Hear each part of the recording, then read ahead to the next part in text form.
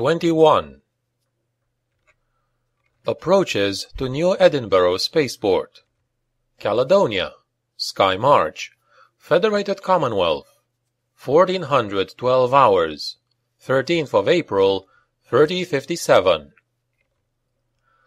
Balanced on shrieking, thrusting spears of white-hot plasma, the Union-class dropships Endeavour, Valiant, and Defiant drifted down out of a cloudless sky.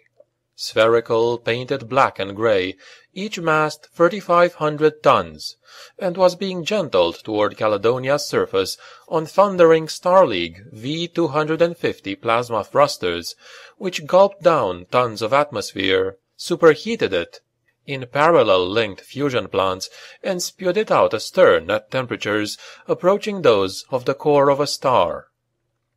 Four nacelles, evenly spaced about their thrusters, split open, disgorging the heavy cylindrical feet of their landing legs.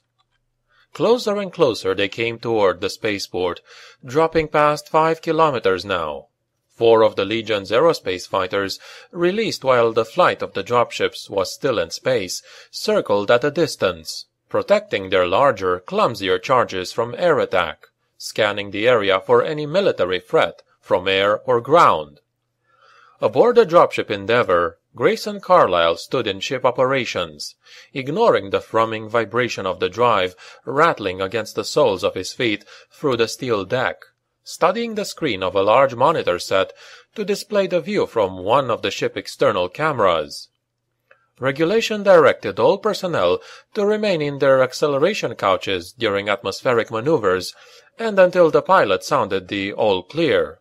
But the Endeavour had already completed its necessary heavy-duty maneuvers and was descending at only a few meters per second. No sudden maneuvers were expected or necessary and Grayson wanted to take advantage of the ship's dwindling altitude to get a good look at the city of New Edinburgh. Left five, he said, speaking for the benefit of the console's voice command circuits, and enhance. The picture from an altitude of 20 kilometers was remarkably clear and steady. The camera was computer controlled to maintain the image despite the dropship's movements or the buffeting of the wind. At Grayson's spoken command, a square appeared in the center of the screen, shifted left, then expanded swiftly to zoom in on the selected region. The view showed a portion of the spaceport spread out beneath the slowly descending dropship, as well as a nearby park or public square surrounded by buildings. The square was filled to overflowing with a great black mass that seemed to quiver and seethe as Grayson watched it. Magnify, he said, times five. Again a graphic square appeared on the screen, then expanded, magnifying the view. Now the black mass was revealed as individual people, standing shoulder to shoulder in a great, seething mob. A riot, or a massive demonstration. He widened the angle of his scan and ran a search for large heat sources. There! Three of them. Battlemechs moving toward the town plaza. Make that four. A fourth heat source appeared to be lurking among the warehouses on the northeast side of the spaceport, some distance away from the main demonstration. Why was it all the way over there? A backup for the others in case the crowd broke that way? An ambush? Major Fry came up behind him, looking over his shoulder at the screen. Trouble, Colonel? Looks like. Better pass the word for the ground troops to go out armed and in armor.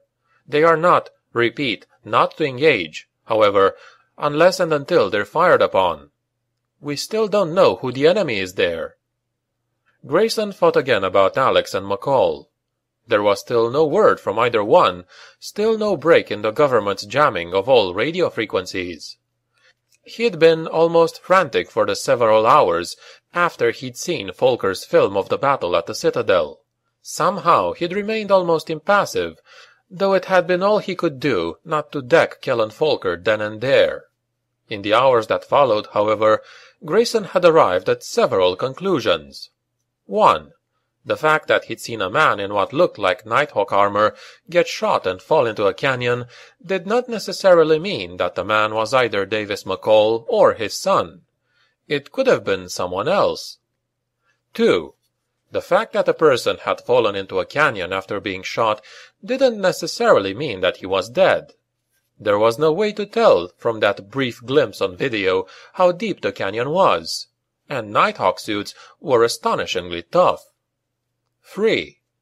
Grayson had decided he couldn't trust Folker, not when the man was the representative of a government that clearly preferred to control all information about itself in order to control its own people.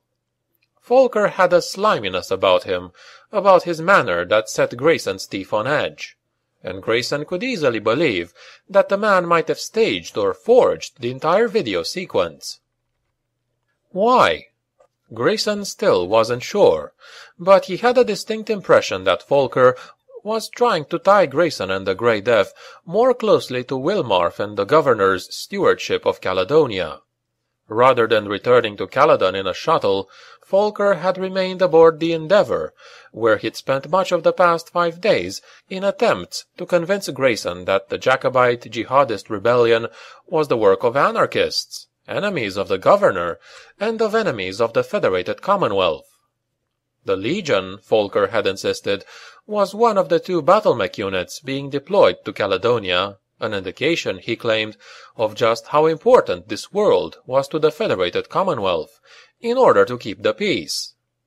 He'd brought with him several memory clips filed with hundreds of gigabytes of data, with detailed operational orders for the Legion to deploy from New Edinburgh spaceport, secure New Edinburgh, and then initiate martial law. The second unit, Folker said, would be a battalion of the 3rd Davion Guards, formerly stationed at neighboring Hesperus II, but soon to arrive in system for deployment either at New Edinburgh or at the city of Stirling, to the north. Grayson had done a lot of thinking about the situation during the final leg of the passage to Caledonia. He was in a damned tight position, both politically and ethically. As the Baron of Glengarry, he owed his primary allegiance to Victor Davion, Prince and ruler of the Federated Commonwealth. That title of nobility, however, meant little to him personally. The Legion was his life, and his life's work. So far as his allegiance as a mercenary was concerned, that had been purchased decades ago by House Steiner. Though mercenary units didn't necessarily stay loyal to one employer, those that did were in fact rarities. Grayson Carlyle's political sympathies lay more with the Steiners than any of the other great houses of the inner sphere. The Steiner world of Verthandi had given the Grey Death its first contract those many years ago, when Grayson had first formed the unit. And in their current stint, he had actually signed on with Katrina Steiner before she'd abdicated in favor of her daughter Melissa. His contract had never officially been with House Davion or the Federated Commonwealth. He sympathized with the disaffection many Lyrans felt for the Davion emphasis being given to the alliance of their two great realms. Prince Victor was currently ruling from New Avalon, and seemed to be more concerned with maintaining his power than being fair to his subjects. Quite apart from the politics of the matter, though, Grayson disliked it when people in power, those accustomed to having their own way, attempted to use the Grey Death Legion for their own political ends. That had happened more than once in the past, and Grayson was certain that someone was trying to do it again. But who? And for what purpose? Not Folker, certainly. The man was a go-betweener, not a mover. Wilmarth? Possible, but from what he'd heard so far, unlikely. Field Marshal Gareth? A distinct possibility. That one certainly had ambitions, and sympathy for the Skye Separatists as well. But there was no way to sort out his conflicting emotions or loyalties before he reached Caledonia and found out for himself what the situation there was. One thing was certain. Major Kellan Folker was not making it easier to feel sympathy for the legitimate government of Caledonia. The man was there at Grayson's side at every opportunity, attempting to sway him, reminding him that the Jacobites and jihadists were in rebellion against their legally appointed governor and against the rightful authority of the Federated Commonwealth. He continually harped on the same theme, You are the Baron of Glengarry, Colonel.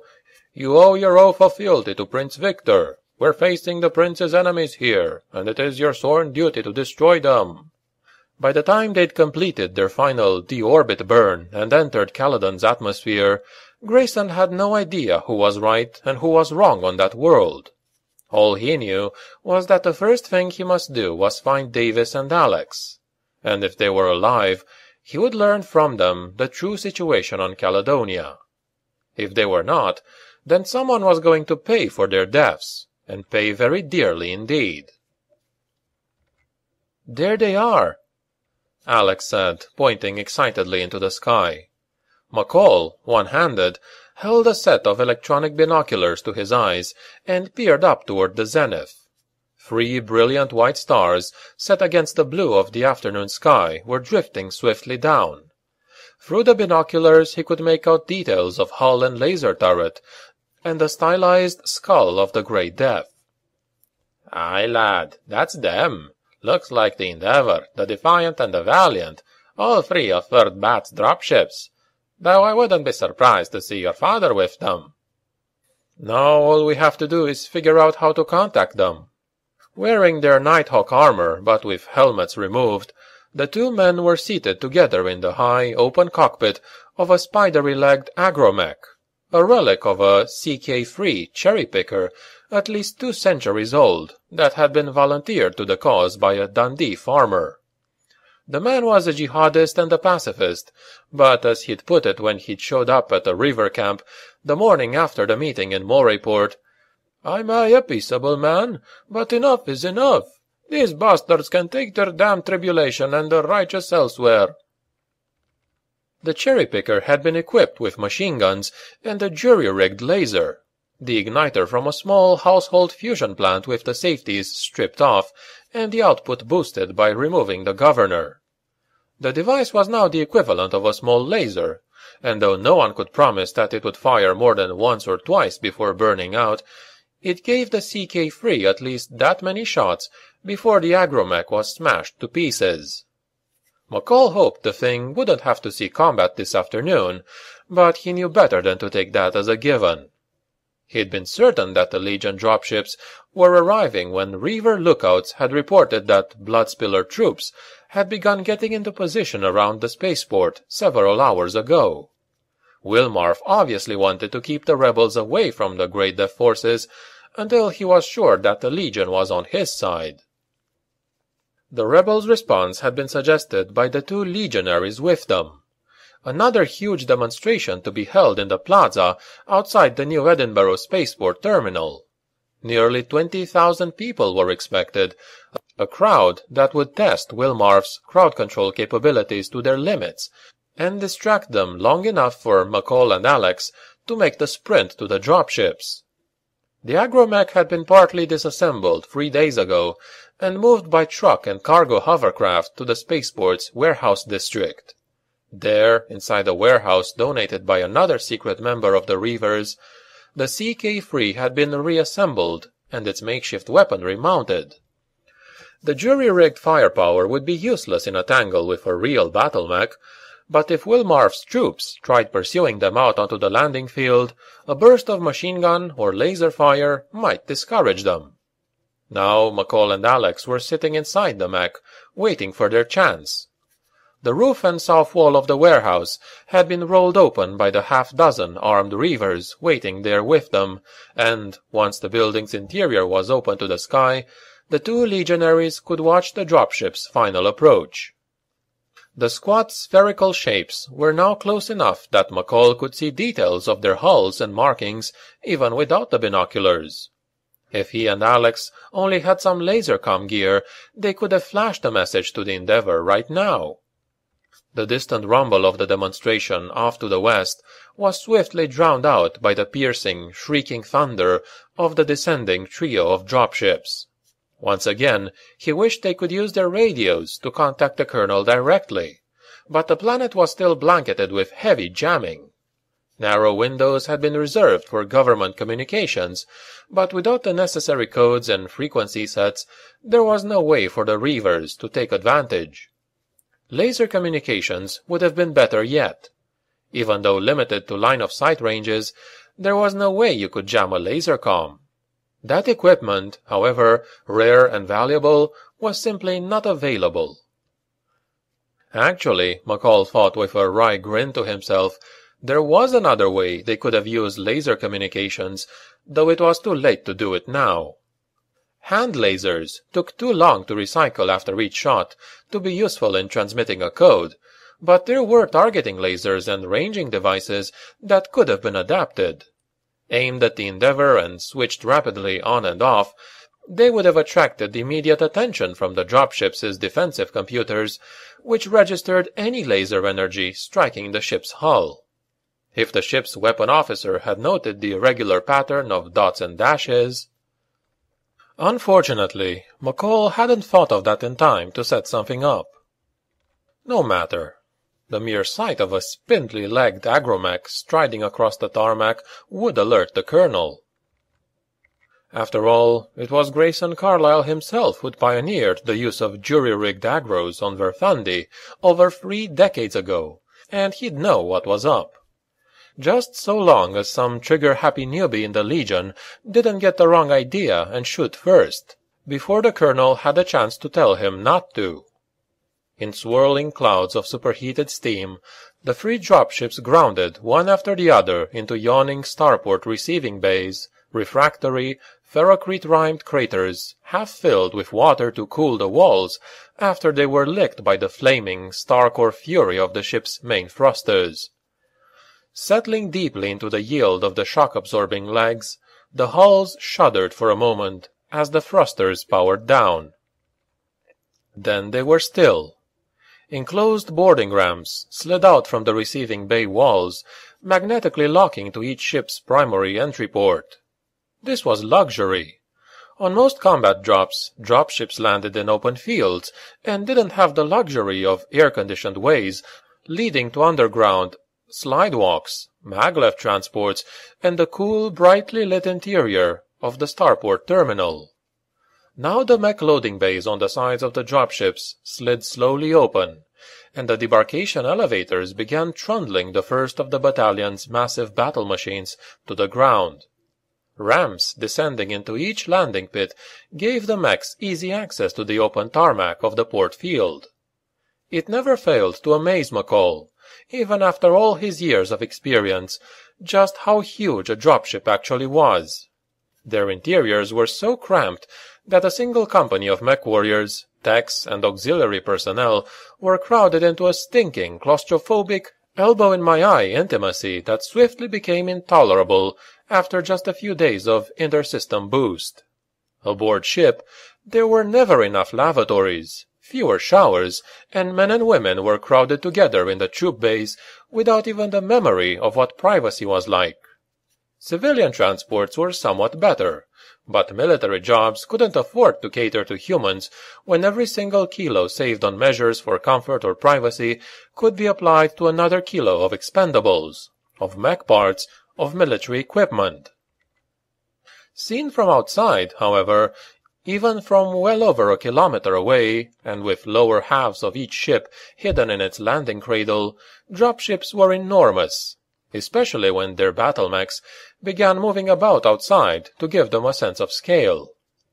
McCall knew mechs better than he did dropships, knew their sheer mass and bulk and complexity, but a Union-class dropship, measuring 75 meters from stern thrusters to bridge dome, towered almost eight times taller than a mech, and dwarfed the largest Atlas by its sheer bulk. Even nestled in their landing craters, the upper halves of the dropships towered above the deploying battle mechs. McCall studied the deployment through his binoculars. There was a Vindicator, a catapult, and a hunchback obviously working together as part of a lance. That would be Lieutenant Anders's combat lance, the first company of the Third Bat. He saw no sign of Grayson Carlyle's Victor. Well, lad, there's no sense in waiting longer. I was hoping to spot your father first. But that's Larry Anders's catapult over there. I think he can be trusted not to shoot first and ask questions later. Still, I wish I could spot the Colonel's Victor. It would be nice to walk up to him, mech to mech. We can wait a bit longer, Alex said. In fact, we probably should. There's no sign yet that the Bloodspiller mechs have started moving against the demonstrators. The signal, arranged early that morning, was to be a green flare fired over the plaza. Once Wilmarth's mechs were moving toward the plaza, the agromech could scamper across the tarmac in relative safety. If McCall and Alex broke from cover too soon, it was possible that the government mechs, which had been positioned about the spaceport in order to guard the approaches to the landing area itself, would see the little agromech and move to block it. The thing was unarmored. A single solid hit could probably take it down. All right, lad, McCall said, deciding.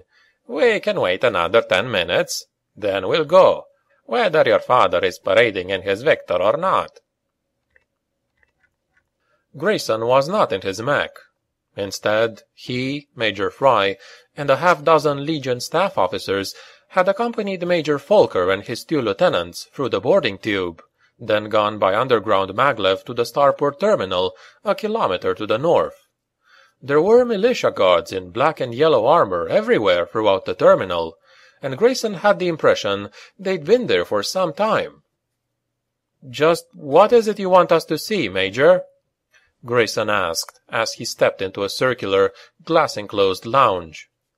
A brief elevator ride had taken them up a slender tower to the saucer-shaped observation area, which gave a splendid 360-degree view of the entire port as well as the city of New Edinburgh sprawling across gently rolling ground to the north and east.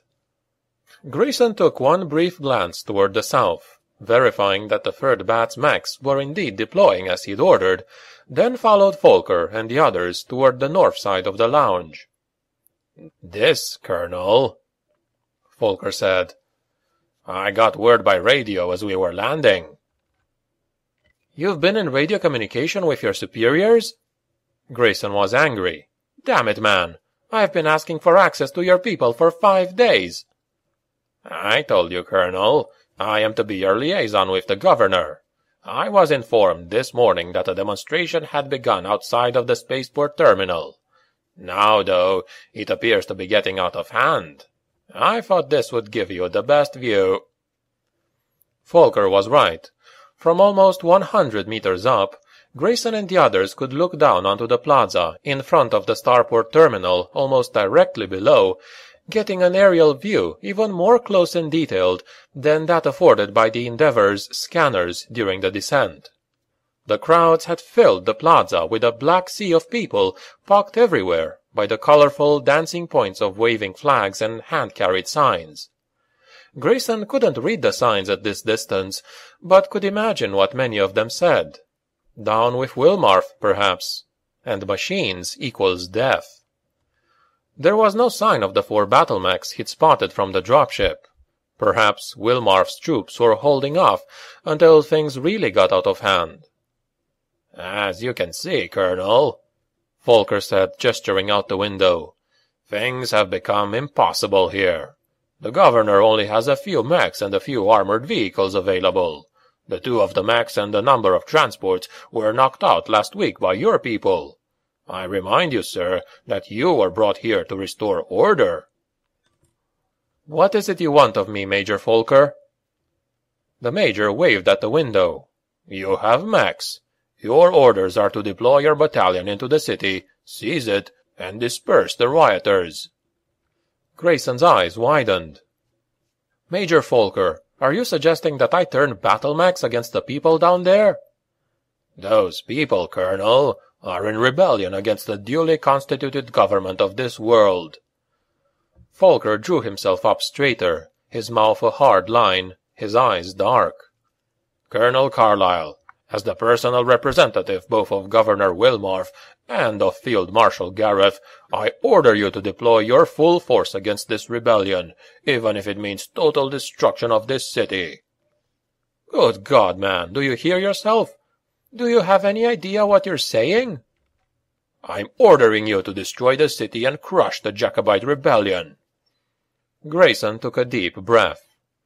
There were some orders that must be obeyed, even though obeying them meant death.